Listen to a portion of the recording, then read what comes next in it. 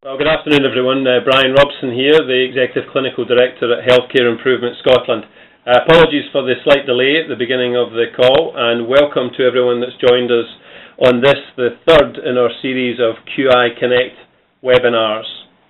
Uh, this series came from a request from our national clinical leads here in Healthcare Improvement Scotland to uh, connect frontline clinicians interested in quality improvement with uh, international leaders in the field of improvement. They asked that we make the sessions uh, short, accessible and recorded to allow access at a time that suited them. And we built this into our clinical engagement strategy.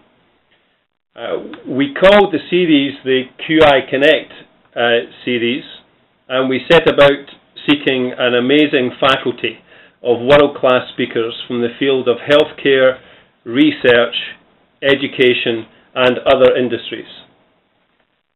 Um, our initial focus for these webinars was the clinical uh, in, uh, community in the middle of uh, Healthcare Improvement Scotland. However, we now have an amazing reach uh, wider than Healthcare Improvement Scotland um, and out past uh, the uh, NHS in Scotland, past the UK, and now an amazing international faculty. Um, the international reach of this uh, has been supported by all the organisations that you can see on this slide. Uh, we're absolutely delighted with the partnership which is now uh, developed to create a global community around learning in these webinars. And you can see that more than 38 countries are now accessing the webinars, either uh, live or asynchronously, and using the uh, presentations and discussion in their work uh, across the world, which we find is, is uh, absolutely amazing. We're particularly grateful today to be joined by uh, undergraduate students in medicine, dentistry and nursing at the University of Dundee and the IHI Open School uh, chapter up in Dundee. So welcome to them. And also to the uh, nursing classes in the University of the West of Scotland. We're absolutely delighted with the reach uh, to the undergraduate community, and we're very grateful to you for joining us and look forward to your questions in due course. We're also absolutely delighted that the ISQua, the International Society for Quality, uh, has uh, uh, used the QI Connect series as an approved resource within their fellowship program, which gives us reach to 20 or so uh, countries across the world. Um, just to remind everyone that we are recording the call, so we record the audio and the slides and we make them available to everyone after the call. Um, and also, we're encouraging everyone to use uh, Twitter. Uh, we have experienced an amazing uh, global reach uh, through the use of uh, Twitter and social media. So please use the hashtag and uh, communicate widely internationally to all your pals and followers around this series. Uh, and uh, the speaker today in particular. I'm, I'm, delighted to be supported here in the uh, studio with a very small QI Connect team uh, with uh, Jennifer Graham, uh, with Lisa Birch, and with Carmen Forrest. So this small team is, is supporting this reach across the world. Um, I'm also delighted to be joined here today by Sean Mayer. Sean is a Scottish Patient Safety Programme Fellow uh, and also Improvement Advisor here at Healthcare Improvement Scotland on person-centred care and the Person-Centred Care Collaborative. And Sean will be leading the questions uh, of our speaker uh, later on in the call today. We're also uh, delighted to be partnering with Ko Awatea, uh, the Innovation and Improvement arm in Middlemore Hospital uh, in Counties Manukau in New Zealand. Uh, they are sleeping at the moment, but they're looking forward to uh, following up and listening to the recording, and they've been kind enough to send on some questions uh, in advance.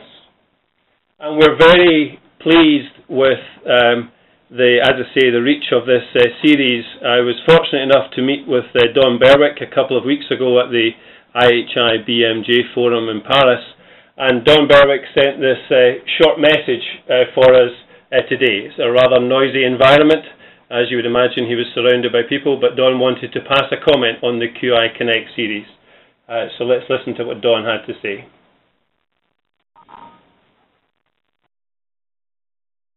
Hey Jennifer, Don Berwick, congratulations on the webinar series. I must say, I wish I could be personally involved right now. My life doesn't let me, but there will come a time, and what I hear is fabulous. And enjoy Marshall Ganz, he is amazing. So I hope you managed to hear that. Don Berwick saying that he was uh, amazing, uh, amazed with the reach of the QI Connect series, and to listen carefully to our speaker, uh, who uh, Don Berwick uh, labelled as amazing. Um, now, I'm going to tell you more about that speaker just in a moment, but just before I do that, I'm going to pass you on to Lisa uh, here in the studio to tell you a little bit more about using WebEx today. Hi, everyone. If I could just take just a few moments to briefly explain the screen that you're seeing at the moment. On the right-hand side of the screen, you'll see there's a chat box.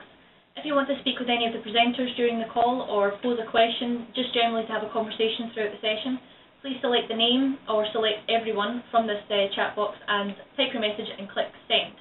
Um, you can also speak to the BT event manager in this way. If you have any technical difficulties, please select the event manager from this drop-down list and type your message, say what's wrong, and click send. Okay, now just before we begin, if I could um, ask everyone to click on the wee blue arrow on the top left-hand side of the screen. We're really keen to see where everyone's dialing in from today. Um, so if you could do that for me right now, that'd be great. And now if you could click on the location that you're dialing in from, yep, everyone's got it. and apologies to those of us, uh, those countries that are dialing in out with uh, Europe, but the map simply is too small to allow actually to see where everyone's calling from.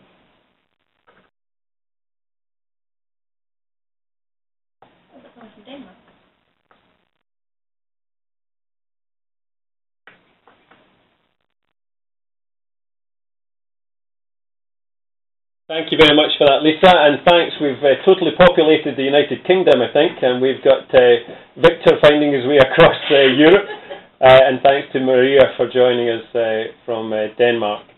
wonderful to see the the connections across the world. Now we're just going to slip for a moment into music again, Delu, while we load up our speakers uh, slides, and then I will introduce our speaker. So Delu, if we could go back to music, and if people in the call could just uh, bear with us for a moment. Thank you.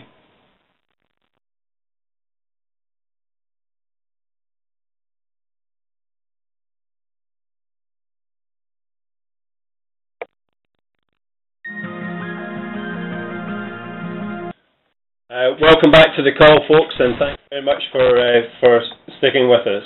I'm Brian Robson here again, the Executive Clinical Director at Healthcare Improvement Scotland.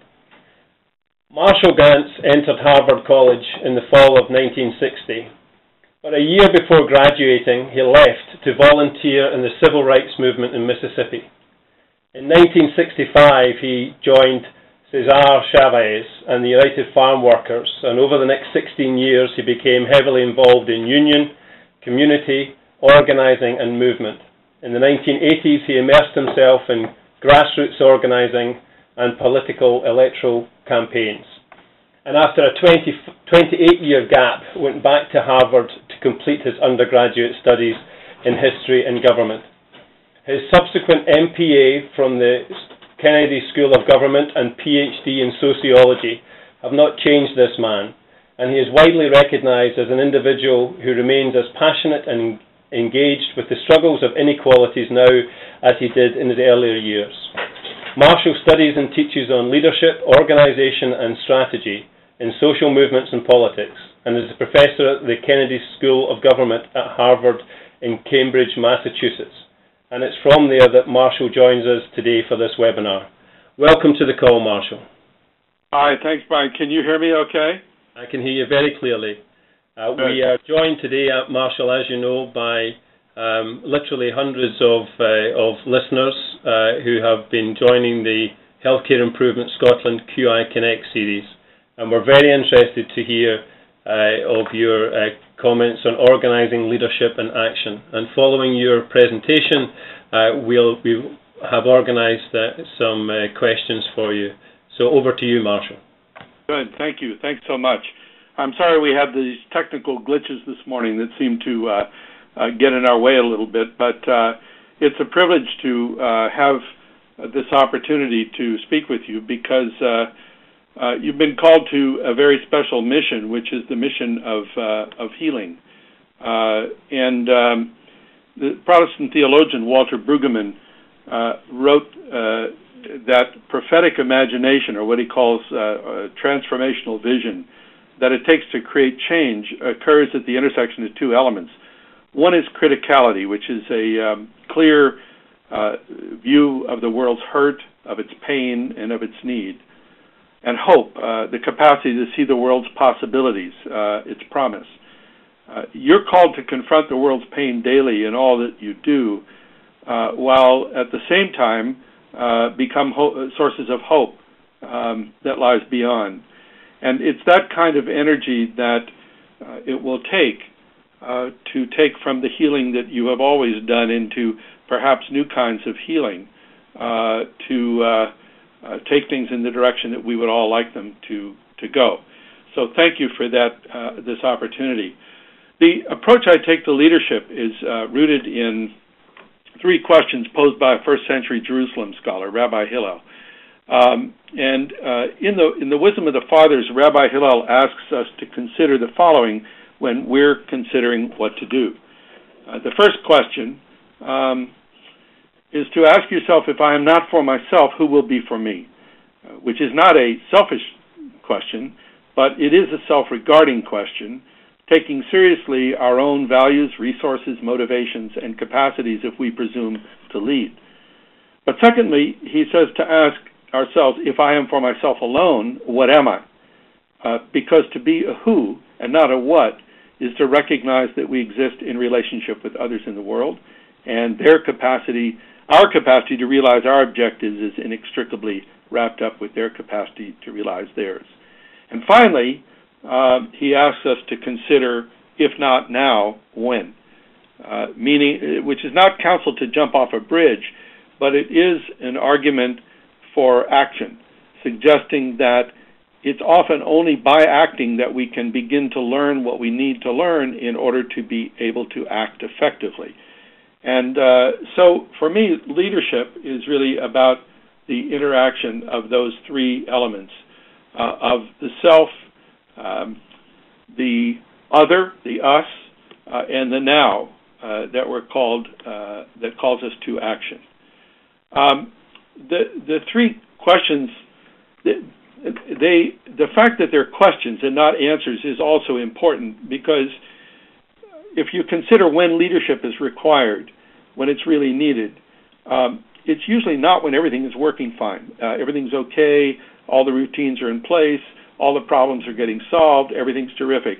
Is that when we need leadership? Uh, it, it's more when things are confusing and problematic, and uh, we're presented with dilemmas and problems. In other words, leadership, the, the need for le- leadership is essentially problem driven, which is very challenging because it's not when we know what to do that we require leadership, it's when we don't. And so that introduces us to the whole domain of uncertainty and the unexpected, which it turns out is the domain of leadership. And we ask ourselves, um, can uh, do do I have the skills I need to deal with this challenge? Um, uh, can uh, uh can I figure out how to? It's a challenge to the hands can I figure out how to use my uh, resources in new ways uh, to achieve my purpose as a challenge to the heart and um, a challenge to the, to the head rather and where do I get the courage um, the hope the forbearance which is a challenge to the heart so it, it turns out that leadership a challenge to head hands and heart is not so much uh, about having uh, all the answers as it is understanding the questions to ask, and it's much less about knowing than it is about learning. Um, and so, yeah, there we are: head, hands, and heart. Yeah, there's a nice, nice, nice picture. Um, and how the three interact with each other. So the definition uh, that I've come to use for leadership is, is this one.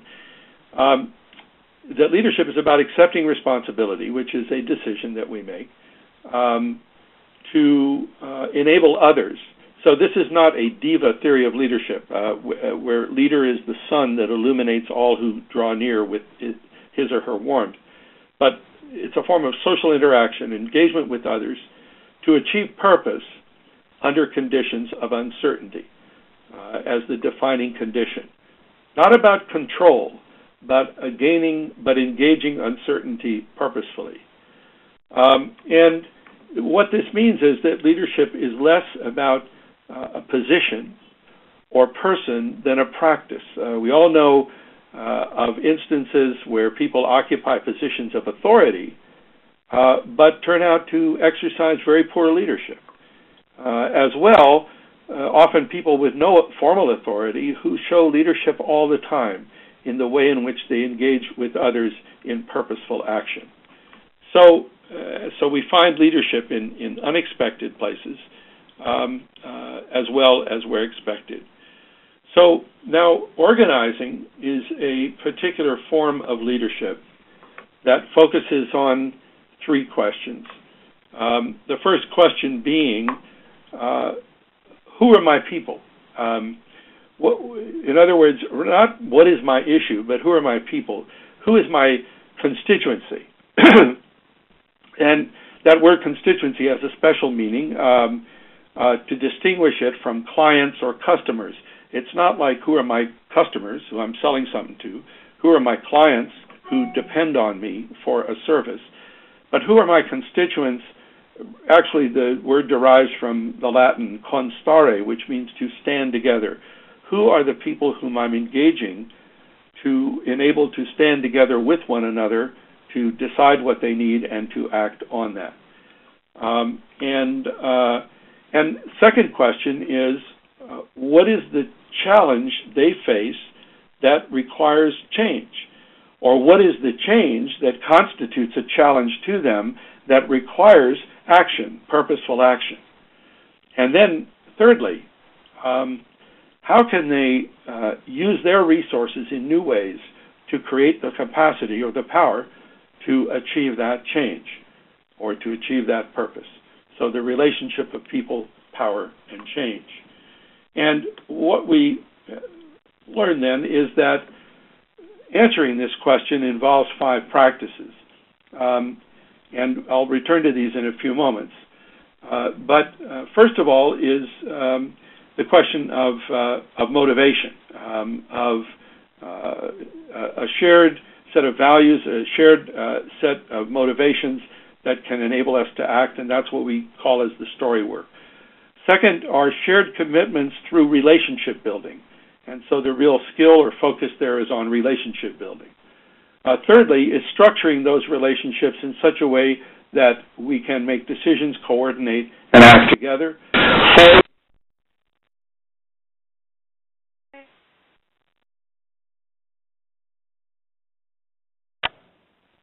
Hi, it's Brian Robson here from Healthcare Improvement Scotland again. Uh, Marshall, are you still with us? Ladies and gentlemen, please stay online. Mr. Marshall line will be reconnected.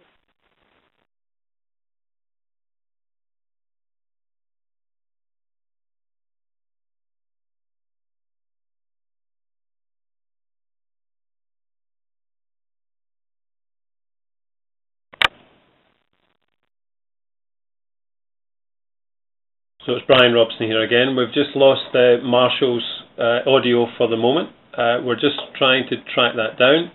Um, and in the meantime, we'll give you some music. Thanks very much to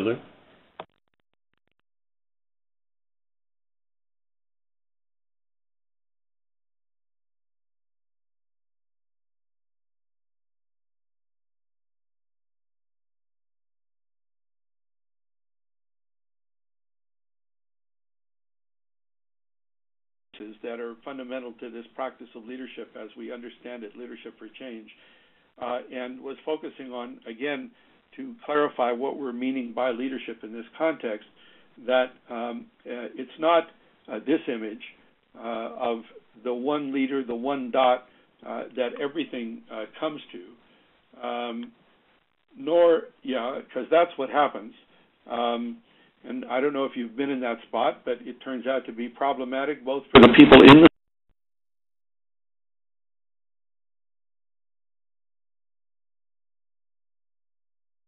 ladies and gentlemen, we lost Mr. Marshall. I will re- reconnect him.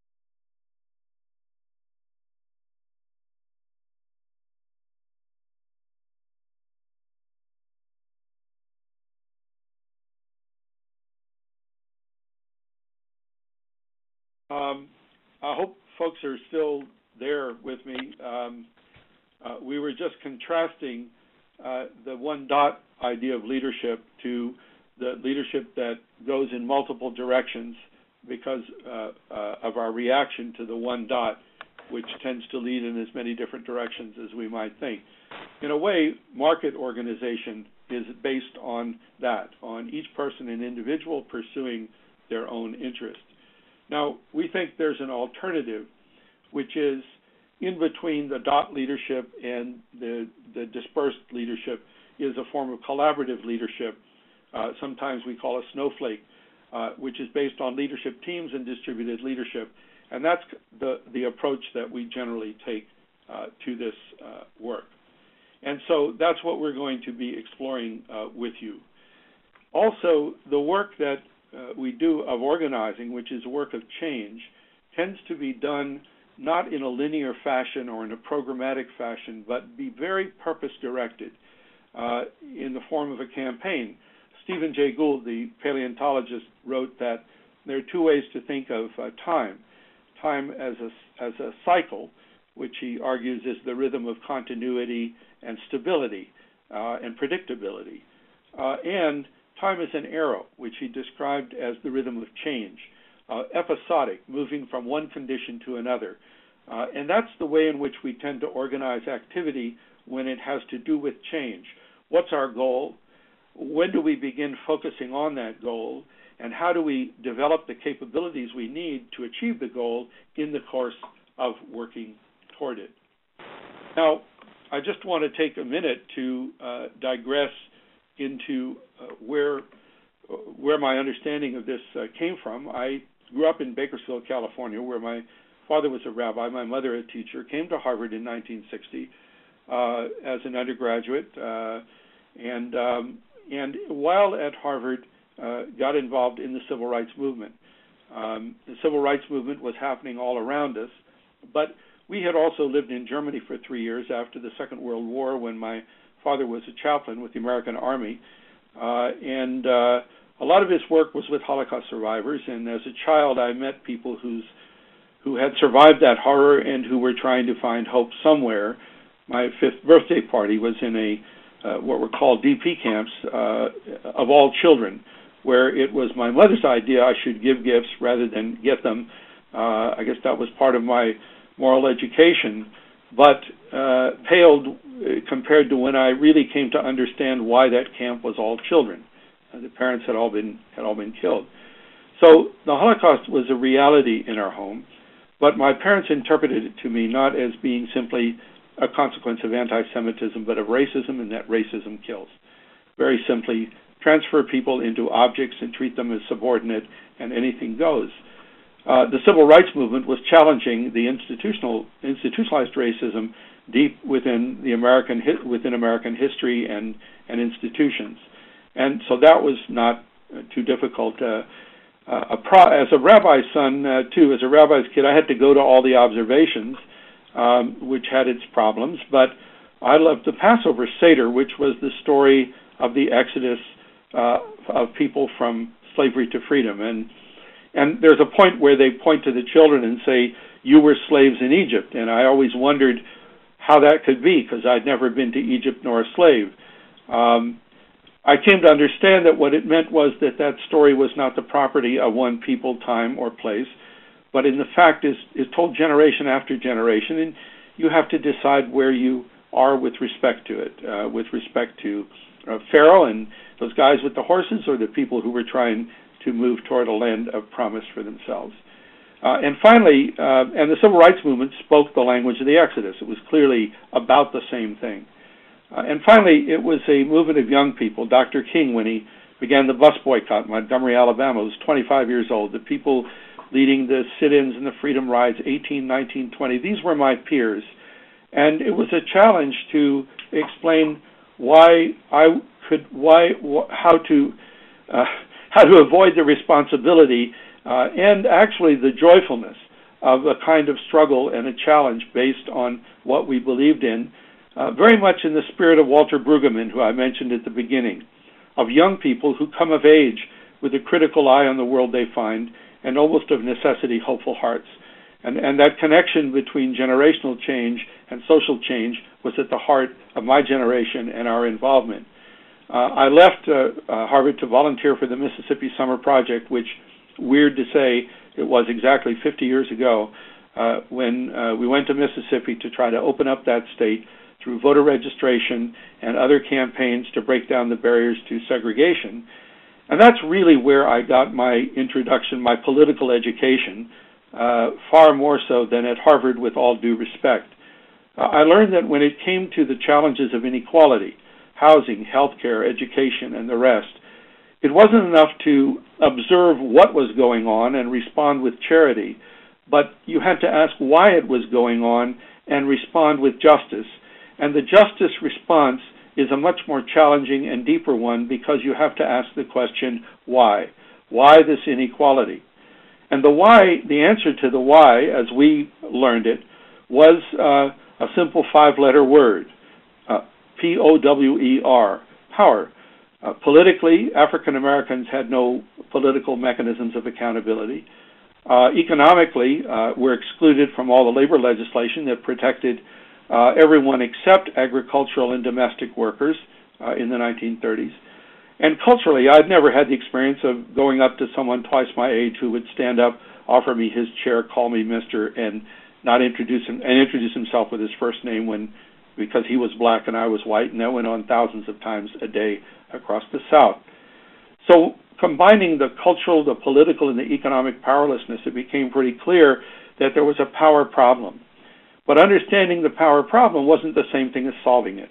And so some people went to Washington, D.C. and said, could you give us a little bit of your power to solve the problem? Well, that didn't go too well. Uh, it resulted in lots of testimony at hearings. What we discovered was that unless people with the problem also could become authors of the solution, the change was not going to happen. But they didn't have any power. Well, what we discovered was there was a difference between resources and power and that, for example, in the seminal event that began the modern civil rights movement, which was the boycott of buses in Montgomery, Alabama, people discovered that if they used their feet, instead of using their feet to get on the bus and pay bus fare to the bus company, they used their feet to walk to work, not as individuals, but collectively. It turned out that the bus company was more dependent on the people than the people on the bus company. In other words, resources could be turned into power through collective action based on identifying the points of interdependence in the system.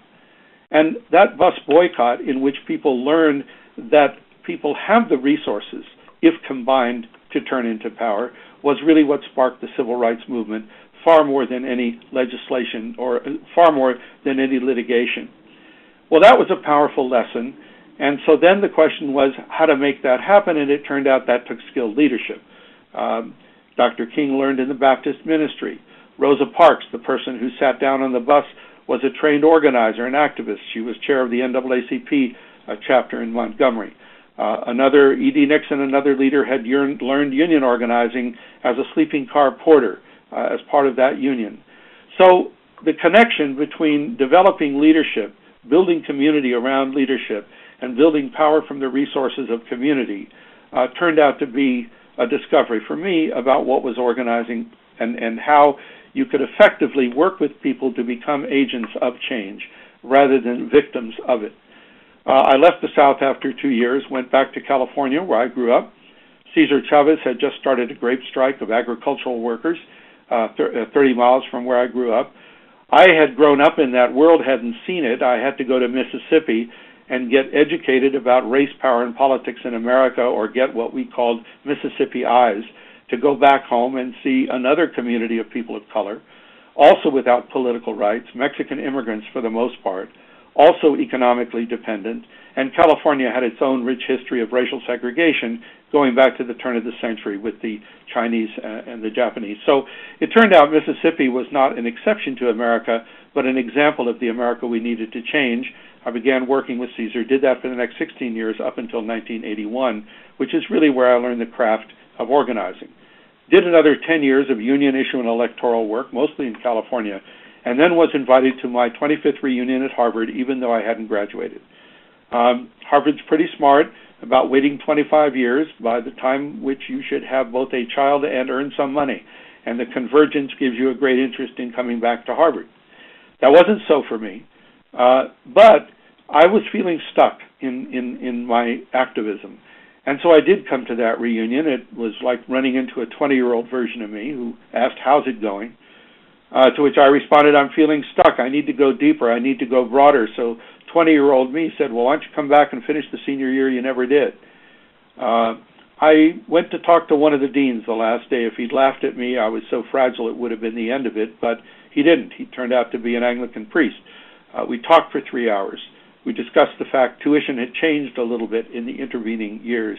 But I came back and in 1991 finished my Uh, undergraduate degree in history and government, wrote a senior thesis, graduated class of 64 92, and my 81 year old mother got to come and see her son finally become a college graduate. Having closed that particular loop, I found I had the bug, continued to the Kennedy School for a master's and then a PhD in sociology, and I've been teaching then full time at the Kennedy School since 2000, since completing my degree. The teaching for me has turned out to be sort of central to my learning because it's the place I've been able to integrate my life experience with social science in a conversation with a rising generation, and actually following that generation back into the world of action, as in Howard Dean's campaign in 2003, the Obama campaign 2007, various efforts on climate change, immigration reform, and the rest. And so this approach to organizing that I'm about to share uh, is uh, developed uh, rooted in both the experience and the social science and the practice or the pedagogy which I actually think is kind of at the heart of the matter. So let me quickly review these practices, uh, and then uh, we can have some opportunity to discuss them. The first is relationship building, and um, uh, that's what this little chart here is meant to illustrate, uh, which is how relationship building works. Now, I should say that these practices are not otherworldly. Um, uh, the thing about organizing skills are that they're practices everybody does for the most part, but we do them implicitly. And a lot of this work is bringing out what we do implicitly, making it explicit, so we can do it with intentionality and purpose and, and with strategic intent and in a spirit of learning. So I presume everyone on the call has had relationships of some kind or another, uh, probably different kinds of relationships. But if you reflect on what it takes to actually constitute one, you'll find that it is difference as much as commonality. That uh, uh, unless, as this chart illustrates, there's some interest that you have a res- interest I have that you have a resource to satisfy, uh, and that you have an interest that I have a resource to satisfy. There's no basis for an exchange, and I don't mean of a purely instrumental nature. I mean I may be a good listener, and you may need listening to. Uh,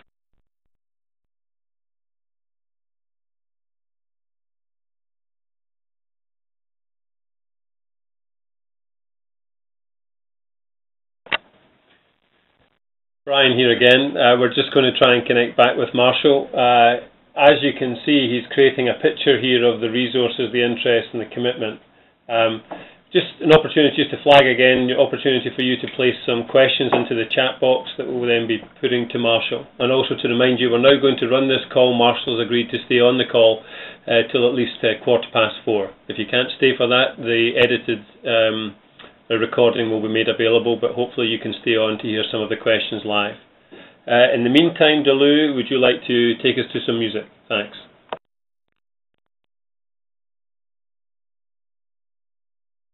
Ladies and gentlemen, please stay online. Mr. Marshall is dialing back to the conference.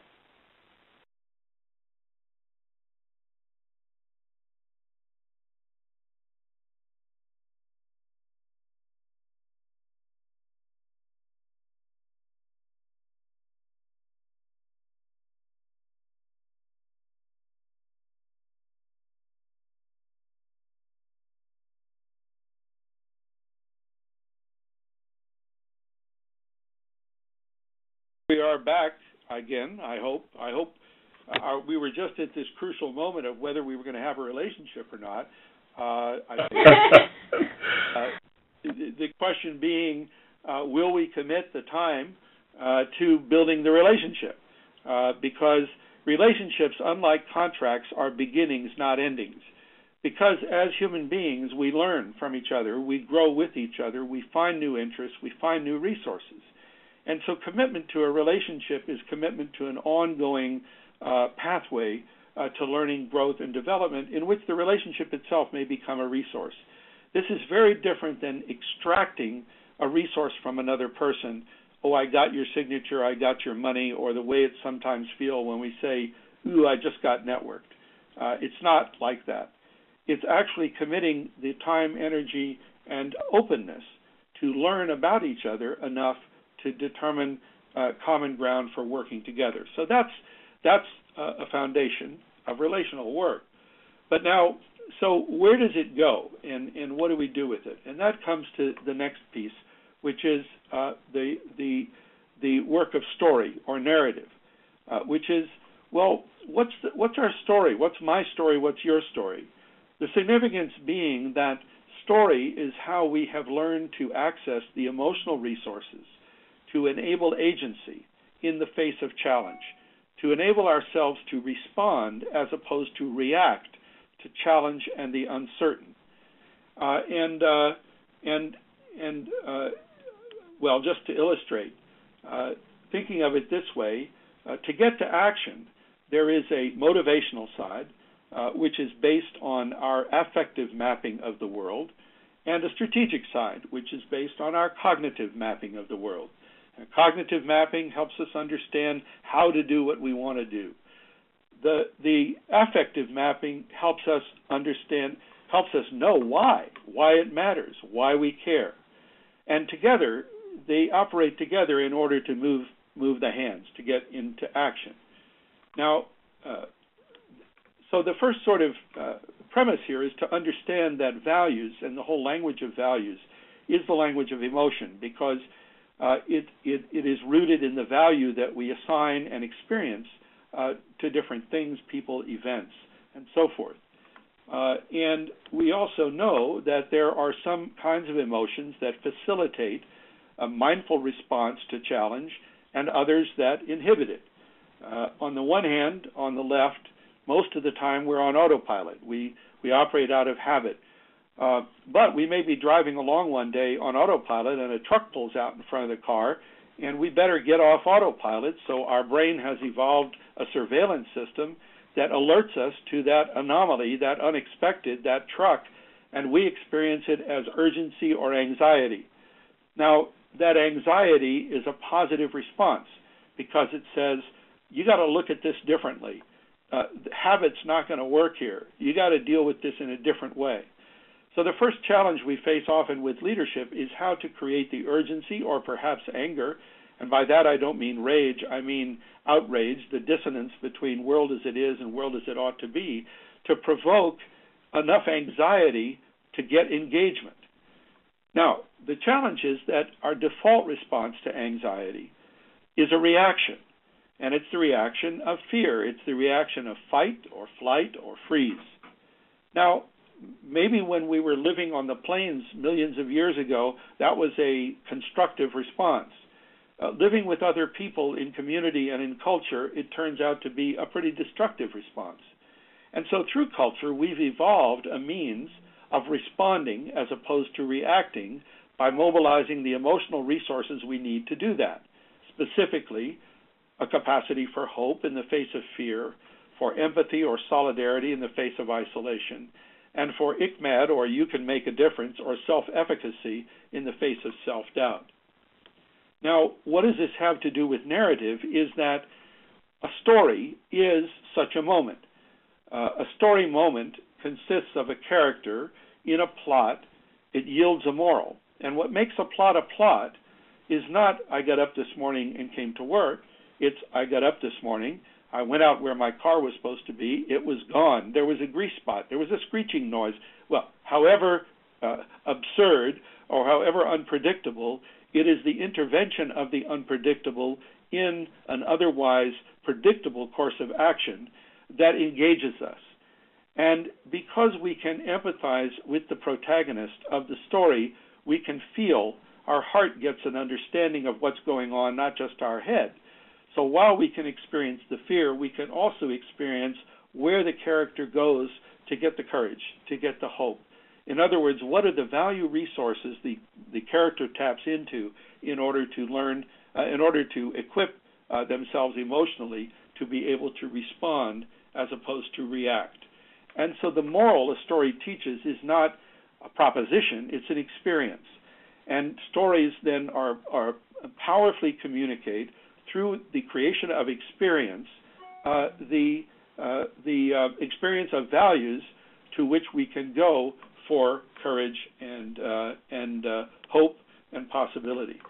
Uh, in our work, we harness the power of story to leadership by learning how to tell a story of self, to use narrative to communicate to others what it is that calls us to leadership, um, to articulate a story of us, use narrative to bring alive the values shared by those whom we hope to engage in action, and a story of now in order to communicate the challenge to those values that requires action now. And that's the narrative piece of work that we do along with um, building on relationships. Now, uh, so we've got motivation, we've got these relationships, uh, but we need uh, we need to structure ourselves how we're going to do this this work that we're going to do. How can we organize ourselves? And um, what we've come to the conclusion is that uh, the structure that seems most um, viable and really most important these days, as the old model of the single leader and the market model is the only alternative, prove their inadequacy when it comes to achieving shared purpose. And so our focus is on develop, building of leadership teams, for which there is a great deal of research in terms of what it takes to make them work, to be bounded, to be real, uh, to have shared norms, to have a governance structure, not complicated stuff, but work we rarely do. And so we start by building a core leadership team, uh, and then moving from that team outward um, to engage others, uh, so that each team member um, has their own team to engage others outward, and in that way mobilize a constituency. It's a distributed model of leadership. It's one that is not uh, uh, it's not flaky. Uh, it's clear in that responsibilities are clear, norms are clear, uh, outcomes are clear, but responsibility is collaborative and shared, and we can talk more about that later. Next, and, and fourth, the fourth uh, uh, practice is strategizing. Uh, and for my experience, we were always David dealing with Goliath, and so the capacity to strategize creatively, how to turn what you have into what you need to get what you want, was always a central aspect of creativity, and uh, and it meant uh, a deep understanding of what could be a resource. Uh, now, I, this chart shows here that strategy is motivated just to make the point that um, the challenge of the unexpected that provokes story is also the challenge that provokes strategy. Uh, in other words, we also operate habitually unless something provokes us to have to think about it differently with intentionality and with purpose. So there's kind of a convergence of story and strategy when it comes to exercising individual or collective agency. Um, strategy is intentional, uh, the intentional transformation of resources into outcomes. It's a theory. Uh, it's situated, in that this is the word derivation of strategy. Strategos was the general uh, of the Greek armies who oversaw the, the, the battle, and the taktikas were the, the soldiers that were deployed. So strategy is a theory of change. Tactics are the actions required to enact it. Uh, and it's a verb in that uh, the work of strategy only begins with our initial plan. Our real capacity as a strategist is our ability to adapt uh, to new challenges and new opportunities uh, as as we move forward.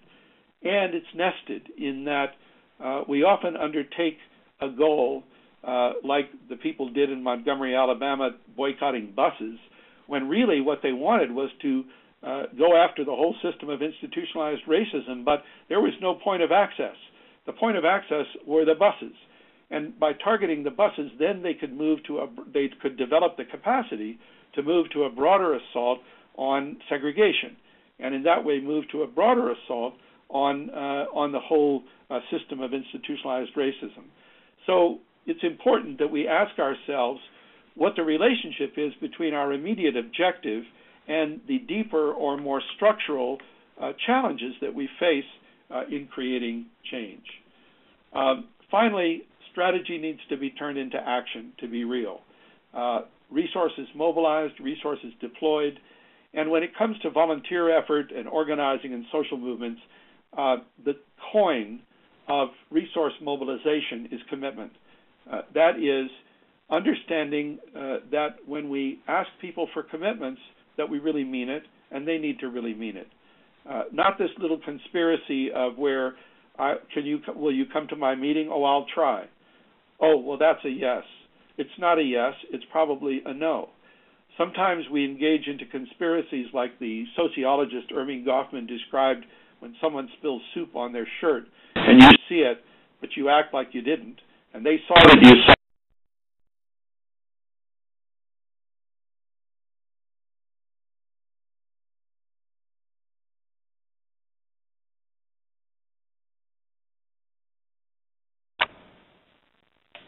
Hi, Brian here again. Uh, clearly, we're still having some difficulty with uh, Marshall's uh, talk, and he'll come back just in a moment.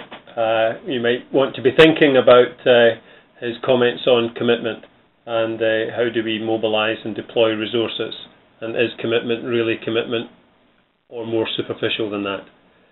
in the meantime, again, think about questions for Marshall. He's agreed to stay on the call. We'll have 15 minutes of questions at the end of the call. So uh, please uh, chat in the chat box. Uh, thanks to uh, David and to Ingrid for their comments to date. But please, uh, please chat some more, and we'll speak to you soon. Thank you, Delu.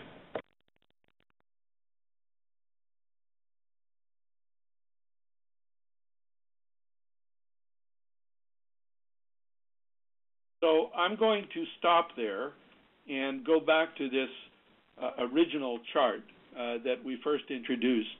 Um, of the overview of this approach, uh, which is one of working with members of a constituency to t- turn their resources into the power they need to achieve outcomes through the power of uh, of relationship building, storytelling, structuring, strategizing, and action, conducted as as object as purpose-driven uh, campaigns.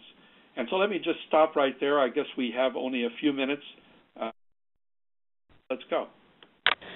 Marshall Brian Robson here. Thank you so much uh, for both the uh, depth of your uh, your uh, discussion uh, with us today, and also for sticking with the technical glitches, uh, showing real resilience and and hope. And we pass you over to Sean Mayer, who's one of our safety fellows, who's going to kick off the questions. Sean. Hi, Marshall. Just to echo Brian's thanks. It was fascinating and really uh, helpful words. Um, we um, uh, the thing that strikes me as we as, as, we're listening to what you were saying there is uh, that in healthcare we have a classic power we have a really power, significant power imbalance and one of the uh, pieces of work that we're involved with here at Healthcare Improvement Scotland is pers- is developing a more person-centred healthcare system. Uh, and that's really fundamentally about shifting the balance of power, make having a more equal power relationship. And we recognise that as to, to bring this into effect, we need social movement. So it's not only what we're doing in the centre, it's what's happening out there as well. And, and, and many of us on this call today are in statutory organisations and, and, bodies which are, uh, if you like, part of the problem perhaps. Uh, so what I was wondering is if you've got any key tips or bits of advice for us on, on how do we go about um, uh, nurturing and supporting social movement? What's, what's our role in, in helping that social movement to, to, to, take root? Is it looking outwards, looking for the green shoots, that, that wave that's rising up, and then wrapping around that and supporting, having that awareness and flexibility? Because sometimes we feel like we lock ourselves into a particular route and it limits our ability to, to flex in that way and have that awareness. So any, any advice for us?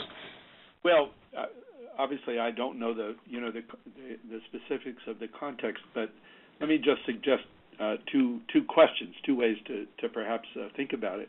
And I appreciate the question.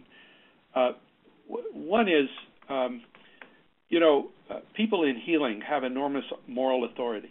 Um, uh, it is a very powerful position from which to make moral claims on the community, on the society, on the system and I wouldn't ignore that. Uh, I mean, that that's pretty important. Um, you know, especially when you're dealing with questions of movements and so forth. Self-interest is always sufficient to keep things the way they are.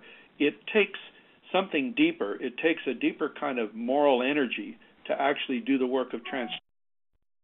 Um, are you still there? Yep. Yep. Okay. And so, uh, first is to recognize the power of that resource. Second to think about is within. Um, uh, uh, one of my students is working in the Los Angeles Unified School District, which has got to be one of the most bureaucratic, convoluted, dysfunctional entities in the world. Uh, but she is uh, she is essentially doing an internal organizing drive among teachers and principals to transform the way in which the schools are being uh, the the way in which the the education is being conducted at the school level. It's sort of like a movement within that structure. Now, obviously, that's a challenging and risky business and hard to pull off because it runs in tension with formal authority. But then there's question of creating spaces within which that kind of energy can be mobilized, whether it's a day of change thing like the NHS uh, did, or things on more focused scales. But I wouldn't give up on what can be done internally, uh, because in many well, the, the then the third thing is what you were describing, which is to ally with uh, with communities, with uh, constituencies, constituents out there who are trying to organize with similar goals and purposes. Um, it's hard to relate to a patient as equal if the when it, it's hard unless the patient also has a source of power. I think um, and sort of so so it seems like achieving what you're describing requires almost that communities be organized to interact with the system. Now, that may not be your role, but it may be the role of others with whom you can work. So I don't know. Those are those are just a few thoughts about it. Thank you very much for that, Marshall. Marshall, you'll be aware that we're recording this call and we have got uh, some comments in from colleagues in New Zealand, some of whom are actually uh, have stayed up to uh, to listen to the call. So this is a question from uh, David Grayson, who's the uh, clinical lead of the 20,000 Days campaign. This is a campaign uh, in Middlemore in New Zealand. Uh, looking to give back uh, well and healthy days uh, by anticipatory care, i.e., keeping an eye out for patients that may be sick and stopping them spending time in hospital, or indeed getting people out of hospital uh, quicker to give them more of their life back. David's uh, David's question is that when will we see, in his words, a civil li- civil rights like movement overthrow the power of the status quo in healthcare? Do you think that's coming? Do you think the time is now?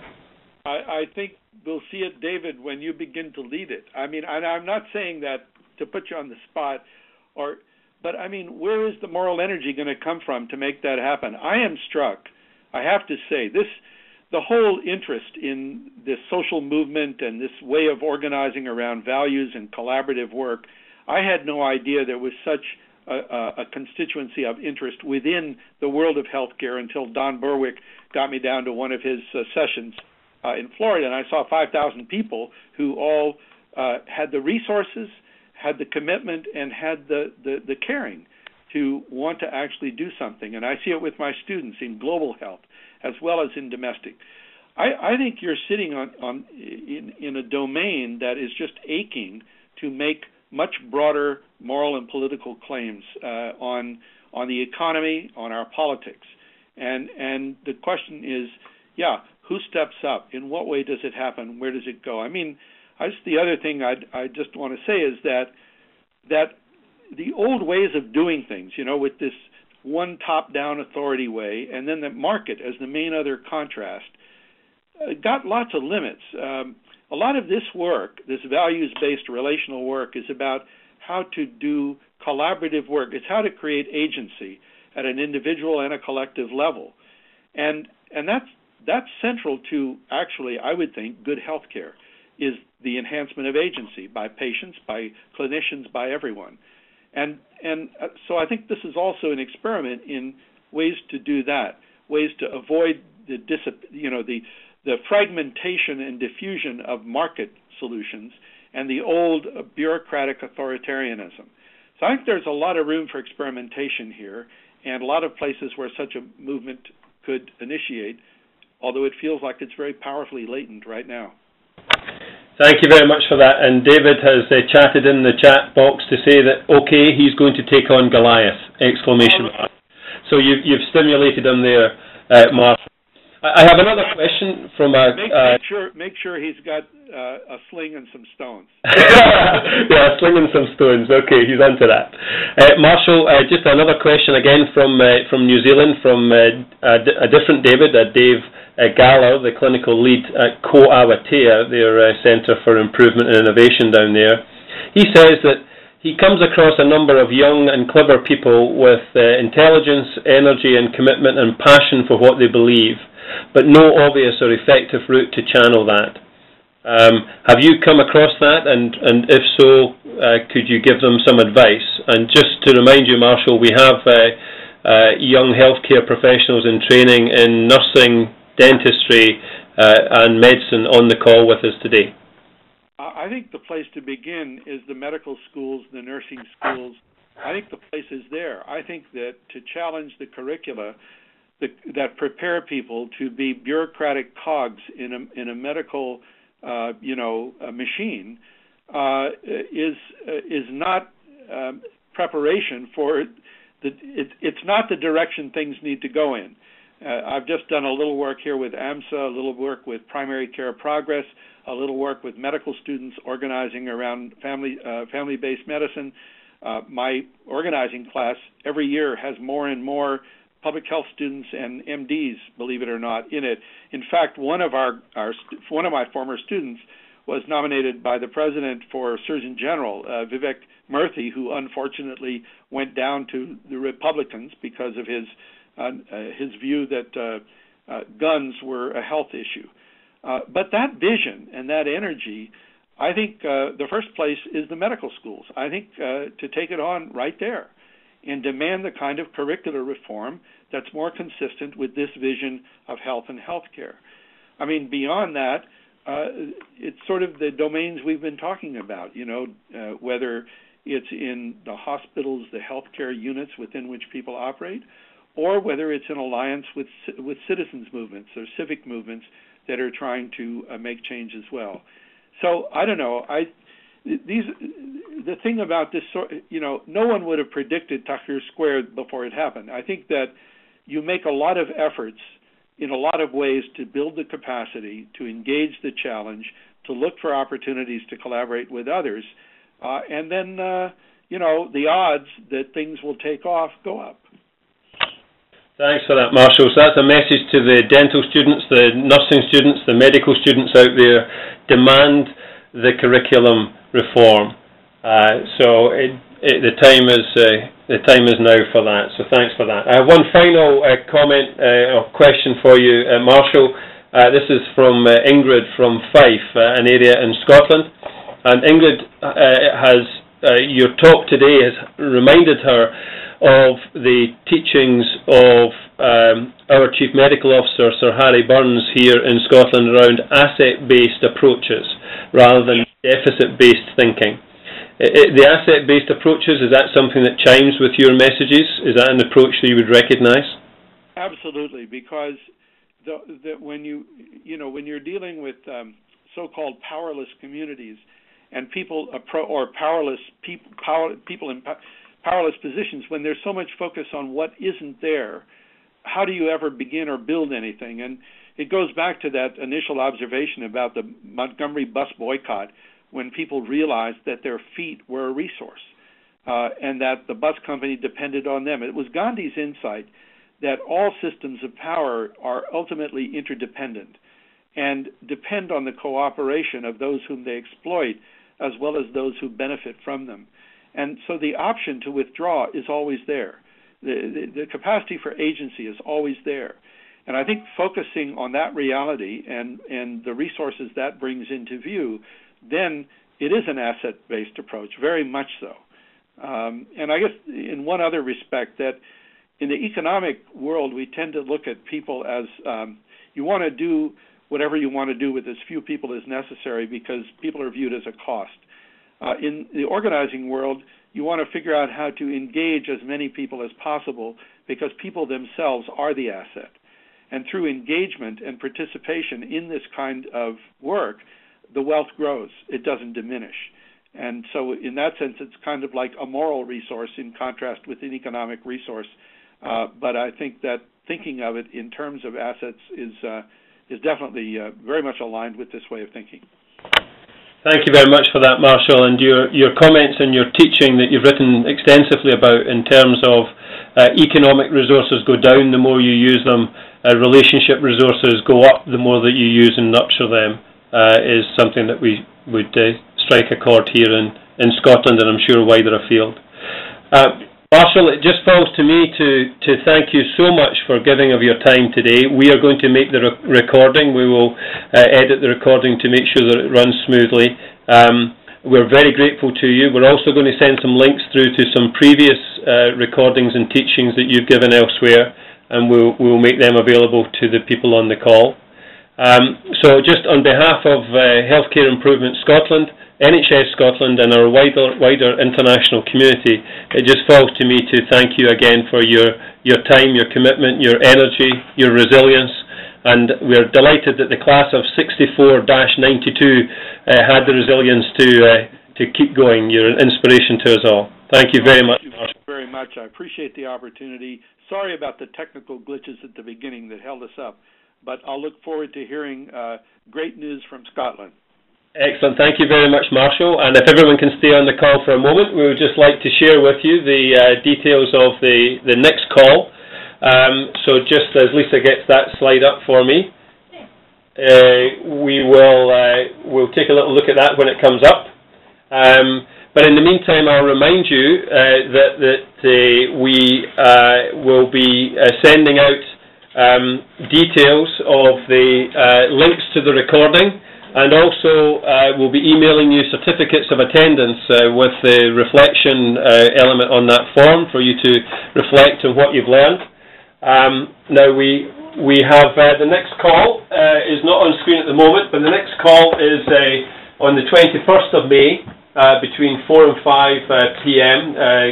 GMT or British Standard Time, British Summer Time, and the speaker on that occasion will be Frank Federico uh, from IHI. Frank is an internationally renowned uh, quality improvement leader, and uh, he'll be very engaging.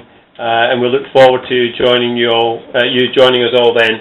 So it just remains for me to say thank you very much for everyone for joining us. Thanks to the team here, to to Lisa, to Sean, to Jennifer, to Carmen, and thank you all for joining with us.